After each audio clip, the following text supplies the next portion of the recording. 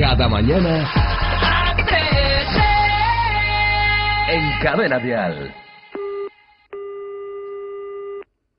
Dígame. Hola, buenos días. El señor Antonio. Sí, Hola, buenos días. Te llamo del servicio técnico que trabajamos para el. De... sí, Vamos a ver, eh, soy el encargado.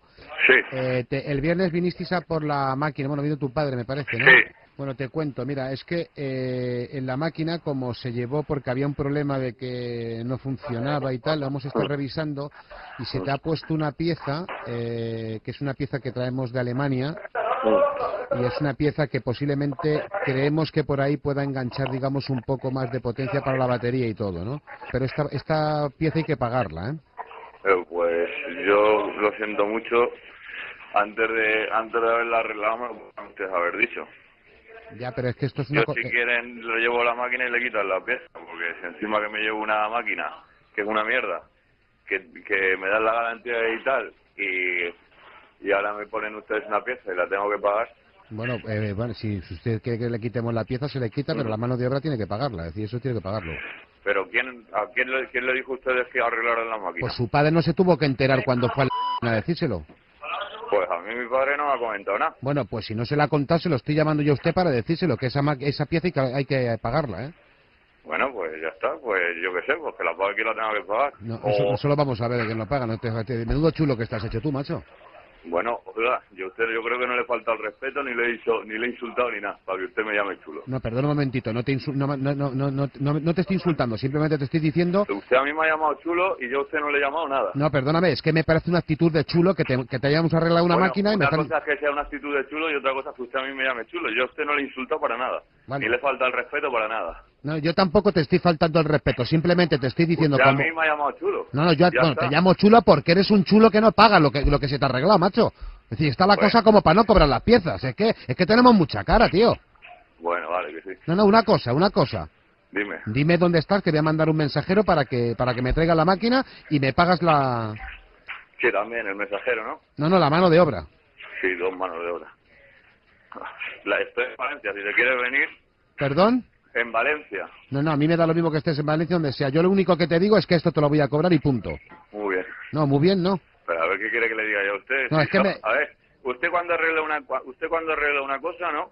Sí. Antes de arreglarla usted debe dar un presupuesto. Sí, ¿no? damos un presupuesto, correcto, sí. Bueno, pues a mí no me han dado ningún presupuesto. Pero vamos a ver una cosa, a ver si se entera usted un poquito y a ver, abre, abra usted un poquito la mente, señor. Vamos a ver.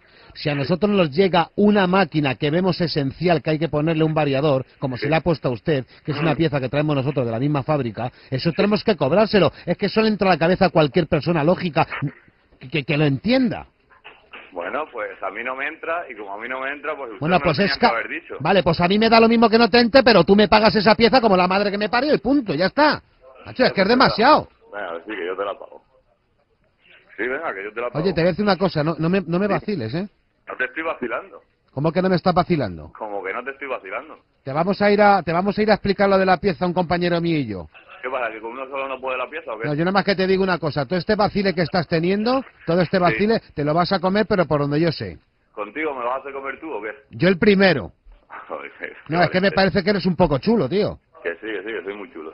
Me extraña Venga, que luego... Te paso, ¿Tienes pasa, ya espera, espera. Que te paso el técnico, espera. Venga, Listo. pásame el técnico. Listo. Qué tonto, muchas felicidades para tu cumple. Después te lo vas a preparar para el cumpleaños.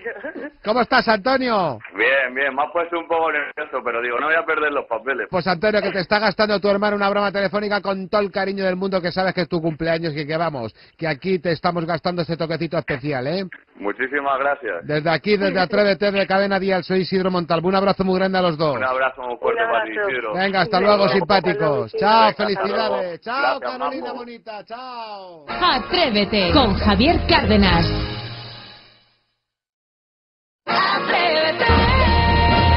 Con Javier Cárdenas.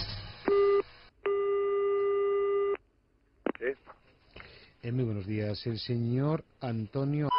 sí, yo mismo. Hola, muy buenos días. Le llamo de la compañía de telefonía de. Sí. Mire, eh, me han pasado un informe de la central donde parece ser que tuvo usted eh, bastante continuidad en llamadas telefónicas a nuestros repetidores para informar de que usted quería un teléfono y si no se marchaba usted a la competencia, ¿no? Sí. Bien, ¿me podría usted explicar eso, por favor? testificar, sí, hombre. Eh, a ver, yo, antes de hacer todo esto, eh, estuve varias veces hablando con ellos de que, de que bueno, a mí, pues, la, aparte las tarifas que tenía no, no me gustaban. Yo llevaba 10 años en la compañía. Sí, correcto, estoy usted, usted, usted pueden comprobar.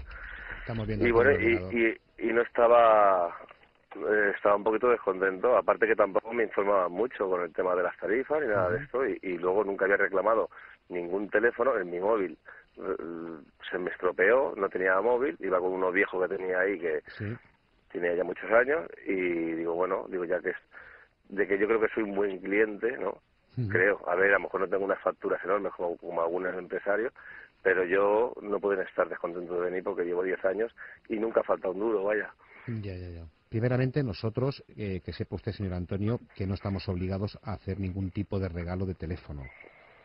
Pero lo que sí me está usted diciendo es que está usted descontento con nosotros, que por supuesto usted puede tenerlo. De las tarifas también dice usted que está de- un poco descontento. Cuando estoy viendo y revisando cuál es la facturación de usted, y es que usted no factura prácticamente nada de factura de teléfono.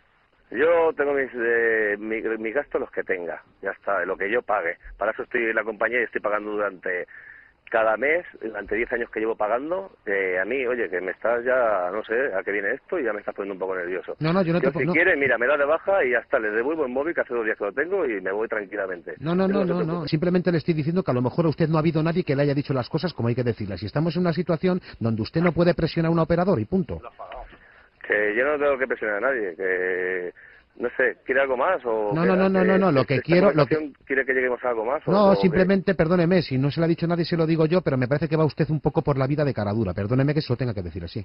Y otra cosa que le voy a decir, se lo digo como jefe de un departamento. Las formas que ha tenido usted de pedir el teléfono no son las adecuadas. Y otra cosa que le voy a decir, al señor que está al lado suyo, que no sé quién es, dígale que se meta en sus cosas. Dígale, sí, sí, dígaselo de mi parte, diga, dígaselo de mi parte como, como jefe del departamento de atención al cliente. Dígaselo al que está al lado suyo que, que, se, que, que se calle la boca, que haga el favor de callarse la boca. ¿Se lo quiere decir usted mismo qué? Sí, dígale, póngame. ¿Sí? Toma, toma. Sí. Perdone, usted tiene que meterse en sus cosas, no la de su compañero, ¿de acuerdo? Ah, Sí, porque ha abierto usted la boca sin tenerla que haber. yo abro la boca porque quiero. Nadie me tiene que hacer callar Bueno, a pues mí. estamos haciendo y una... ve- No. y an- ante todo, como cliente que es, tiene que tener un respeto, ¿me entiendes?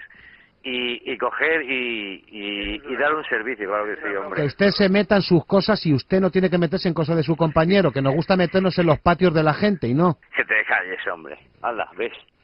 Dígame. ¿Pero qué están ustedes de cachondeo? Le voy a cortar la línea ahora mismo, por listo. Bueno, pues ya puedes ir cortándola. Vale, le voy a pasar de todas maneras con una de las operadoras que estuvo hablando usted, a ver si tiene usted lo que tiene que detener ahora delante de mí de decírselo. Le paso. Eh, oye, ¿Qué ¿qué pasa? pasa? Esto es una bromita, capullo. ¿Qué pedazo de c... que eres, Genaro? Cuando te pille te vas a enterar. ¡Antonio! ¿Qué pasa? ¿Qué pasa? Que soy Isidro Montalvo del programa Atrévete de Cadena Dial, que te estamos gastando Sí. una broma de parte de tu, de tu coleguita que me dice que no te gastas ni un ril, pero ni un ril en, factura. Date que lo coja yo este. Bueno, que te invite mínimo una cervecita fresquita, ¿vale? Venga. Oye, bien. para su cumpleaños. Venga, felicidades. Muchas gracias. Venga, un abrazo muy grande a los dos. ¡Chao, los móviles por la cara! En Cadena Dial. Atrévete. Con Javier Cárdenas. Cada mañana Atrévete. en Cadena Dial. Escuela de Arte Dramático, dígame. Eh, muy buenos días. Buenos días. Eh, mire, quisiera información porque eh, tenemos que ir a montar eh, cosas eh, para un programa que se va a hacer la semana que viene ahí en... No sé si es el día 3, sí, el día 3 de 7 a 10 de la, de la noche de un programa de radio que se llama, a ver que lo tengo aquí apuntado, que no sé ni cómo se llama. Ah, sí, lo tengo aquí. Eh, Atrévete de Cadena Dial. No sé nada. No, sé- no sabe usted nada. Una cosa No. que le quiero comentar, nosotros que somos los que vamos a montar todo lo que es las, Sí. las partes. de- ¿Se ve usted ya con, con, con el escenario ya o no? ¿Cómo, cómo? Digo que se ve aquí ya ustedes con el escenario, cuando están ustedes allí.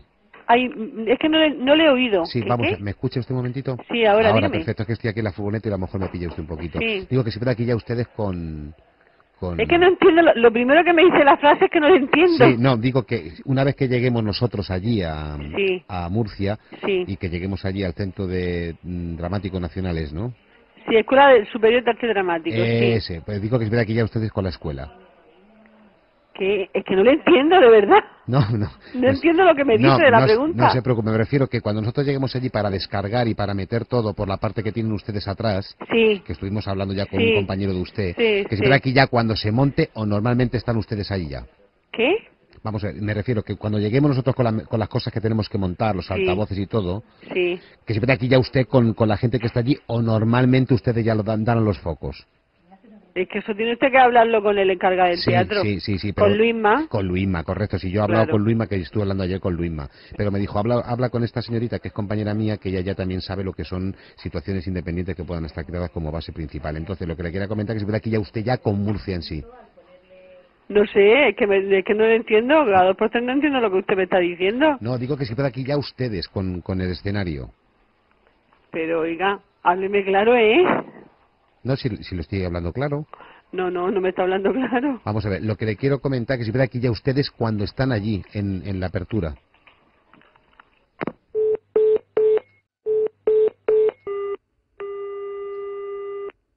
Dígame. Eh, perdone, se me ha cortado. Sí, eh, sí, sí, dígame. Vamos a eh, que estoy hablando con estoy hablando con el conductor que viene conmigo, que sí, que habló con, con Luisma, con el señor que me dice usted.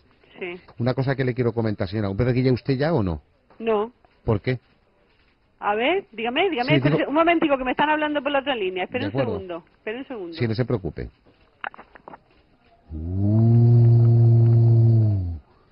¿Qué es un daquitú? ¿Dónde está Luisma? Oiga.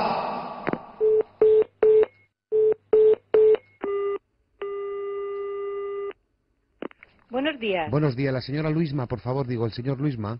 Eh, está en clase. Ah, que está en clase, vale, que era para comentarle de que, que somos los que vamos a montar lo del espectáculo que va a haber del, del programa de radio, del programa TVT de Cadena Dial. Sí, Una cosa que le quiero comentar, ¿puede que ya ustedes ahí en, en, en el teatro? sí. ¿A qué hora van a estar? Pues eso tiene que ponerse en contacto con este chico, ¿eh? Para que pueda... Ya, ya, pero ya que por supuesto con, con Luisma, ¿no? Sí, ¿En- sí. ¿Y en qué sentido?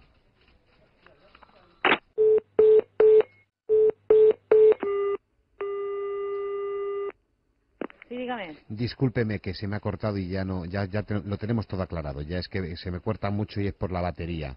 Que nada, eh, dígale a, su- a su- a su compañera que se ponga, por favor, que quisiera despedirme de ella. Muy Muy, bien. muy amable, ¿eh, señora. Nada, nada. Nada. Dime. Señora, Sí. un placer. Soy Isidro Montalvo del programa Atrévete de Cadena Dial. Le estaba gastando una broma porque que sepa Que usted. va, que va, si no se ha notado. Qué graciosa que es usted. Si no se ha notado. Bueno, que sepa usted que estamos, vamos, el día 3 en, en, en ese precioso teatro ¿eh? De arte dramático que tienen ustedes en Murcia y que vamos con toda, vamos, con toda la ilusión a, a esta ciudad. ¿De acuerdo? ¿Cómo se llama usted? Me llamo Encarna. Encarna, un placer muy grande, nos conoceremos en persona. Le he Por metido un daquitú, supuesto. un daquitú fresquito muy rico y a Luis más dele usted un abrazo muy grande. ¡Chao, chao, chao, venga! Chao. Con Javier Cárdenas.